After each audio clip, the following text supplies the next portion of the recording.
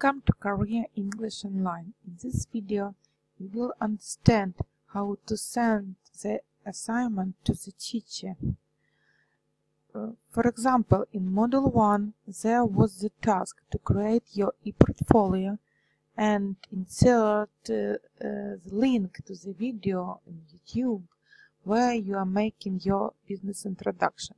So let's look here. Here we have Module 1 Introduction you participated in forums, uh, you have done the quizzes, and here you had portfolio 10 points.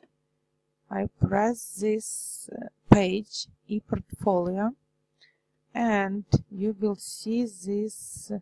In fact, honestly, at the first time, you cannot understand what does it mean and where I have to uh, write my links. But Look on the right uh, top corner. There is a blue button, Submit Assignment, and when you press it, you will two variants how to submit your assignment as a text entry or a website. If you had your link to your portfolio, you just choose website and here insert here your uh, link. Maybe comments like uh, this is an e-portfolio by Ruslana Shamanska, for example. By Ruslana Shamanska. And uh, it would be understandable for teacher who is this and where is it.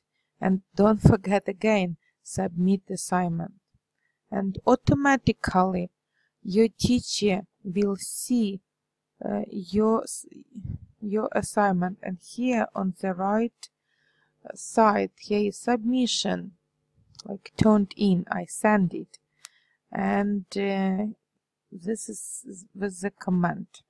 So and it would be very simple for teacher for me to see your assignment and uh, check your e-portfolio